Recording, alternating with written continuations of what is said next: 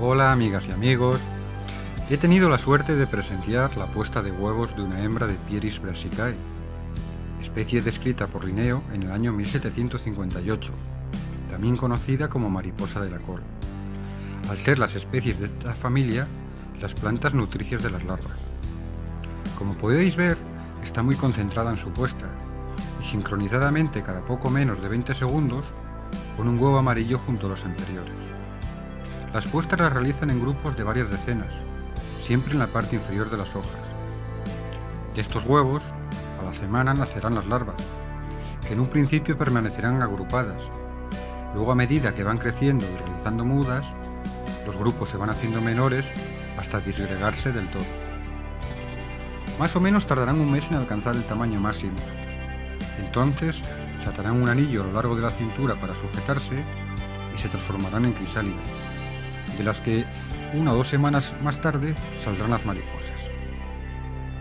Esta mariposa es activa desde el comienzo de la primavera hasta la llegada del invierno, el cual pasan en estado de crisálida. Con la llegada del buen tiempo saldrán las mariposas que iniciarán el proceso, sacando varias generaciones durante la temporada. Los machos son de color blanco, con una mancha negra en la esquina superior de las alas delanteras.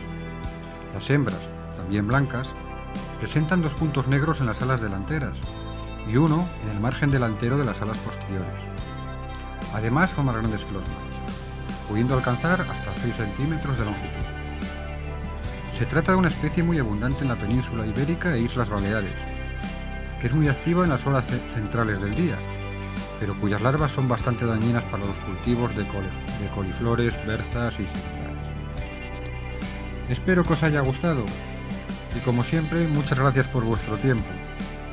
Y si queréis saber algo más sobre esta especie, os invito a visitar mi blog por Web, donde podréis también ver algunas fotografías de las diferentes fases de su ciclo vital.